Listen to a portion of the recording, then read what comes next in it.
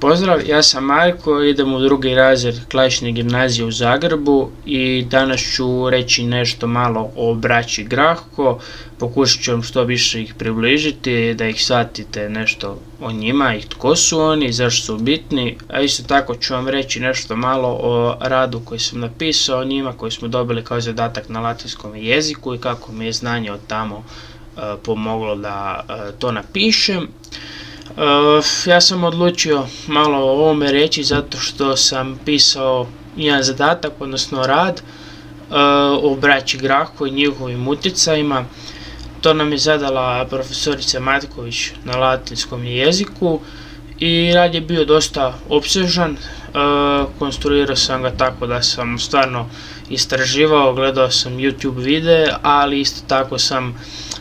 ne mogu reći da sam toliko informacija izvukao sa Latvijskog koliko nekog razmišljanja kojeg sam iskoristio u pisanom radu. Naravno većinu informacija jesam sa latinskog jezika u školi izvukao, ali dosta toga kada čitamo neke tekstove i pričamo o takvim stvarima poput ovih tu, nisu same činjenice, nego više neki zaključci, zašto se što desilo, kako to utječe, što to predstavlja. I to mi je jako puno pomoglo u pisanju samog teksta, kada sam trebao neke zaključke, znači pisao sam uvod koji je bio dosta, ajmo reći, u činjenicama naravno, tko su oni bili, zašto su tu došli, šta se desilo, razradu u kojoj sam pisao njihovu političku karijeru i zaključak koji mi je najviše pomoglo ovo što sam učio u školi, gdje sam mogao zaključiti, pametno napisati zašto je što bilo i kako je to utjecalo, kakav je njihov odnos, mogu sam prepoznati taj odnos puno detaljnije. Uh, ukratko ko su oni bili? Postojali su dva brata, Timberije i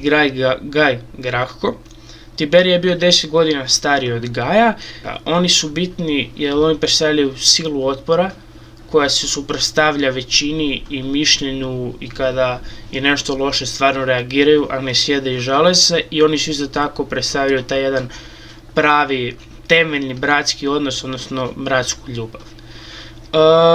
naime, tada je stanje u Rimskoj republici bilo jako loše u smislu da je e, republika počela pobjeđivati u ratovima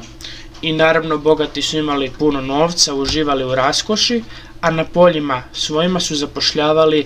uh, nerimljene, odnosno robove koje su osvojili u ratovima. I barača Grahko su to uočili. I sad bi ljudi rekli možda da su oni odgojeni isto u nekoj siromašnoj iz nižeg sloja obitelji, da su zbog toga to shvatili, ali to je, nije istina i to pokazuje da je stvar u odgoju, a ne u onome s čime si se rodio. Naime, oni su dolazi iz jako visoke obitelji, sa majčine strane e, majka im je Kornelija Afrikanska, kći Skipiona Afrikanskog koji je porazio Hannibala u jednoj velikoj bitci. Gaj je imao 5 godina kada im je otac umro, a Tiber je znači negdje 15 skoro, e, dok je zapravo bitno reći da je njih majka odgojila i da ih je stvarno lijepo odgojila, a mogli bi se reći nekim klasičnim tadašnjim odgojem, davala im je knjige, naučila ih je čitati, e, čitali su o filozofiji, o retorici, religiji, bili su jako načitani, jako pametni, bili su hrabri, to je, bili su hrabri što je nešto se ne može dobiti učenjem, nego se mora imati ipak u sebi. Uh, kod njih je bitno to što je Tiberije bio onaj mirni i ljudi su ga shvaćali ozbiljno, ali nisu toliko razumjeli njegovu ljutnju. E, I jednostavno kada je Tiberije bio ubijen, on je bio ubijen isto kao i Gaj, Gaj je to užasno razljutilo i Gaj je puno više u nekim političkim stepenicama uspio od njega, ali jedno nikad nije uspio, to je bilo u neku ruku osvetiti brata. I mogu evo reći da prije dvije godine, kada sam bio osmi osnovni, da mi je neko zadao ovakav zadatak,